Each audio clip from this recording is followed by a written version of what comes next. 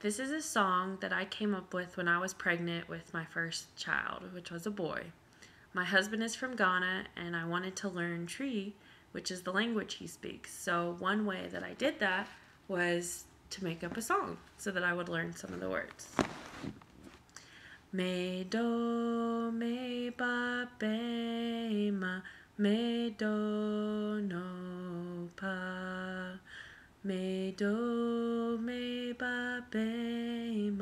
me do no pa me do no me do no area me do no enemre me do no pa so what that song says is I love you my son I love you I love you in the morning. I love you in the afternoon.